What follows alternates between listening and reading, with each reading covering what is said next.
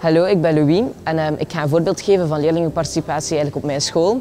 We hebben bijvoorbeeld um, op mijn school het Green Team. Dat is een team dat zich bezighoudt met dingen voor het klimaat en voor um, milieu op onze school. En ze hadden een lijst van 50 prioriteiten, waar die ze dan doorsturen naar leerlingen, leerkrachten en ouders, die dan eigenlijk een top 10 mochten kiezen daarvan.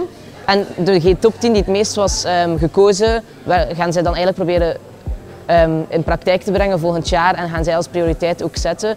Dus dat was eigenlijk wel een mooi voorbeeldje van participatie. Niet alleen leerlingenparticipatie, maar gewoon participatie in het algemeen. Want er werd echt gewoon geluisterd naar wat ouders, leerkrachten en leerlingen wouden. En niet zozeer naar wat dat de directie enkel alleen wou.